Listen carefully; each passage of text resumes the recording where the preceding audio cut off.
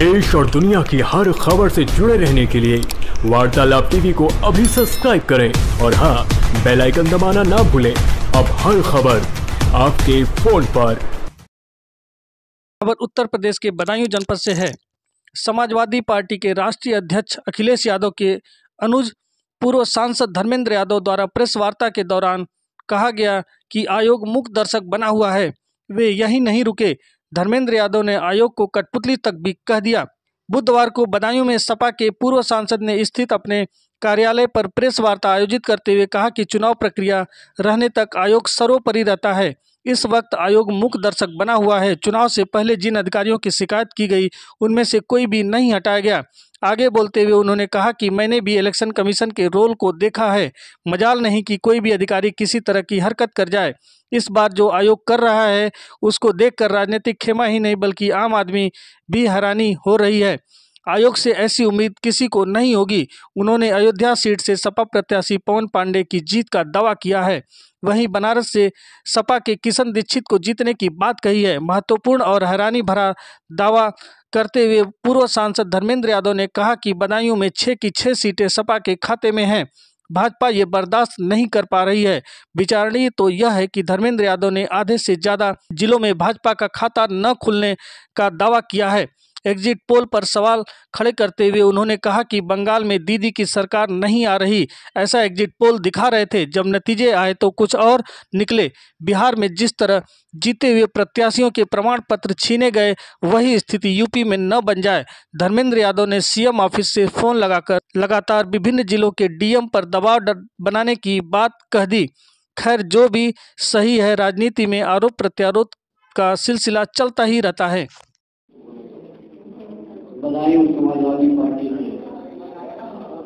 हमारे अध्यक्ष जी, हमारे सभी छह विधानसभाओं के और हमारे पार्टी और गठबंधन के सभी उम्मीदवार, हमारी पार्टी के सब सीनियर लीडर भी हैं और बधाई के सभी मेरे पत्रकार मित्र सबसे पहले आप सभी को मैं धन्यवाद दूँगा बहुत कम समय में छोटे अनुरोध पर ही। हूँ जनपद के सारे जिम्मेदार पत्रकार और के अनुरोध को स्वीकार करके आज पत्रकार बैठक में आए। साथियों, जैसा कि पिछले कुछ दिनों से उत्तर प्रदेश के विभिन्न इलाकों में जो सूचनाएँ और घटनाएँ आ रही हैं, वो मैं समझता हूँ हर उस व्यक्ति के लिए चिंता की बात है जिनकी आस्था और निष्ठा लोकतंत्र जो लोकतंत्र पे भरोसा रखते हैं, उनके लिए, सबके लिए। ये समय बहुत तनाव का और लोकतंत्र को बचाने का ये समय है। और मैं समझता हूँ, चाहे हमारे मीडिया के साथी हो, चाहे राजनीतिक कार्यकर्ता हो, या समाज के किसी भी वर्ग से आने वाले लोग हमारे देश के संविधान निर्माताओं ने, हमारे संविधान ने लोकतांत्रिक व्यवस्था को अपनाया। और मैं समझता हूँ दुनिया की सबसे बेहतरीन व्यवस्था कोई है, लोकतंत्र है। जिसमें हर पाँच साल के अंदर हर व्यक्ति को फैसला लेने का हक है, अधिकार और लोगों ने फैसला लिया। और मैं सोचता हूँ चुनाव संपन्न हो चुका है, केवल काउंटिंग बाकी है। और जिस तरह से उत्तर प्रदेश के जनमानस ने इस लोकतंत्र के पर्व में हिस्सा लिया है, शायद हमने अपनी याद में कभी नहीं देखा। कुछ बुज़ुर्ग लोग ज़रूर बताते हैं कि उन्नीस सौ सत्तर के चुनाव के दौर में ज़रूर ऐसा माहौल था जो आज उत्तर प्रदेश को लोगों को देखने को मिला। शायद हमारे जैसे नौजवान किसी भी साथी ने ऐसा चुनाव ऐतिहासिक चुनाव पहली बार देखा होगा जहाँ जनता की इतनी व्यापक भागीदारी हुई। और लोगों ने एक पर्व के तौर पर हमने आपने सबने पूरे देश और दुनिया ने इलाहाबाद के स्टेशन की वीडियोस देखी होंगी। शायद पहले कभी देखने को नहीं मिली होंगी कि नौजवान अगर अपने वोट डालने जा रहे हैं तो इतने हुजूम और शौक उत्साह के साथ। लेकिन जिस तरह से पिछले कुछ दिनों में सूचनाएँ आ रही सूचना चाहे बनारस से आई हो, सूचना सोनभद्र से आई हो, सूचना सुल्तानपुर की हो, या हमारे पड़ोसी ज़िले से बरेली से आई हो, अभी सूचना मिली है, एक घंटे पहले के मुरादाबाद में भी। इसी तरह, ऐसे समय में जैसे जब ये सूचनाएँ आ रही हैं हमारे राष्ट्रीय अध्यक्ष ने कल लखनऊ के शहर के माध्यम से पूरे उत्तर प्रदेश के हर उस व्यक्ति से अपील और प्रार्थना की है कि लोकतंत्र को बचाने में अपनी ज़िम्मेदारी का निर्वहन लोकतंत्र प्रहरी के तौर पर सभी से की है। और मैं भी इस मौके पर बधाई करते मीडिया के साथियों आपसे करना चाहता हूँ।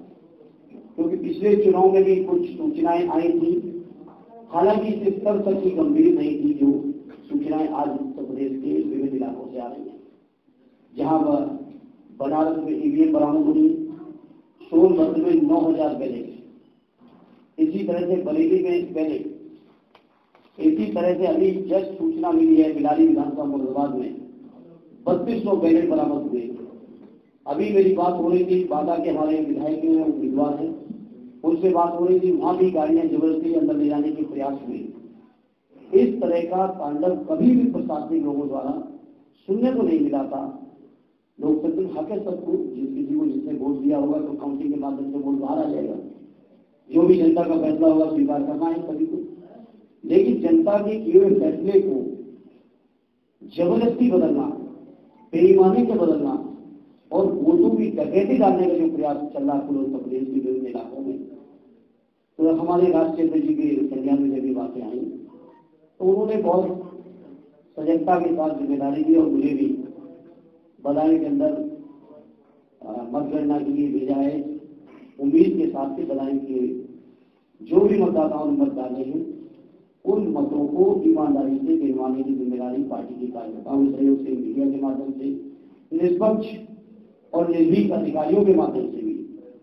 हालाँकि कुछ इन्हीं के बीच गलत लोगों की वजह से ही घटनाएँ हो रही लेकिन फिर भी मैं मानता हूँ कि अधिकारियों में भी बड़ा वर्ग ऐसा जो ईमानदार है जो निष्पक्षता चाहता है, जिसका लोकतंत्र पर भरोसा है तो इस सबके माध्यम से और पूरे बदायूं के हर वरिष्ठ और हर व्यक्ति से अपील और सहयोग लेने आया हूँ कि बीजेपी के लोगों की जो बेईमानी की नीयत है, जो जग ज़ाहिर हो चुकी है, इस जग ज़ाहिर नियत को हम लोग नाकाम करें।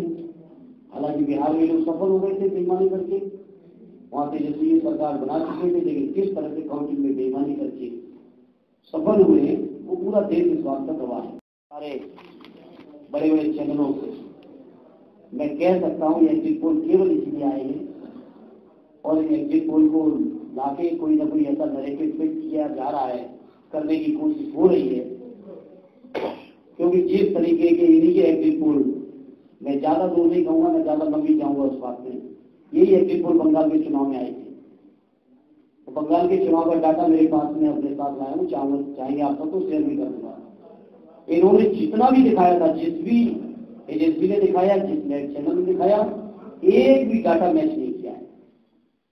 और जिनका मैच किया है उन पे हो सकता बड़े प्लेटफॉर्म ना हो। उन एजेंसी के पास बड़े प्लेटफॉर्म नहीं है तो शायद उनकी बात उन तक नहीं जा सकती। लेकिन जिनके डाटा मैच किए पिछले चुनाव में, उन डाटाओं को हाईलाइट करने का काम नहीं हुआ है। अधिकांश लोगों ने बंगाल की तर्ज पर आगे अखिलेश राजनीति को रोकने में या कैसे रुके इस षड्यंत्र में शामिल हुए। और जो रुके और नहीं रुक रहे हैं, जनता तो बना चुकी है उनको। तो कैसे ईवीएम चेंज हो जाए? कैसे बैलेट चेंज हो जाए? इसी पूरे के पूरे उद्योग में पूरा प्रशासनिक अमला लगा हुआ है प्रदेश का।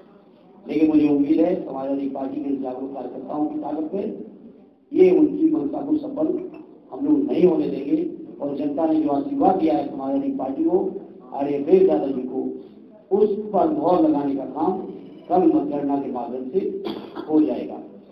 और आप समय साथी का भी कोई सवाल हो, उसका स्वागत है।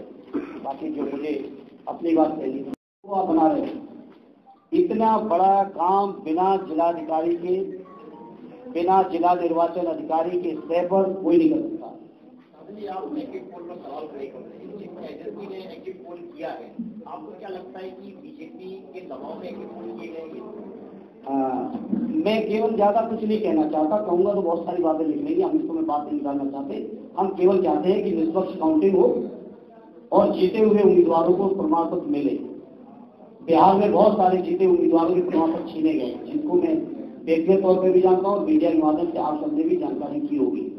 बिहार की तरफ़ से उत्तर प्रदेश की इकॉनमी को ले जाना चाहते नहीं उत्तर प्रदेश के जागरूक लोग, हमारे नेता की जागरूकता के कारण ये परिस्थितियाँ आने नहीं पाई उत्तर प्रदेश और रही बात एग्जिट पोल की तो बंगाल के एग्जिट पोल मैंने आपसे कहा। आप उठा लीजिए।